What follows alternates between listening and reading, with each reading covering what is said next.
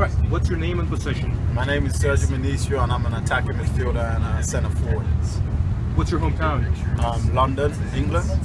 And who would you say is your favorite soccer player? Um, I've got a couple, um, Ibrahimovic, Bergkamp, Thierry Henry, yeah, those guys.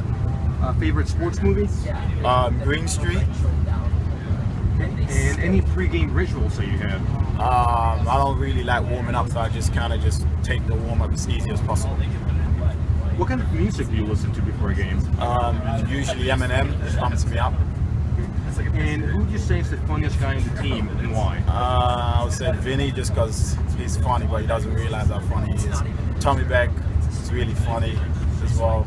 Just his Boxers character. or, boxers or briefs? Uh, Reeves. All right.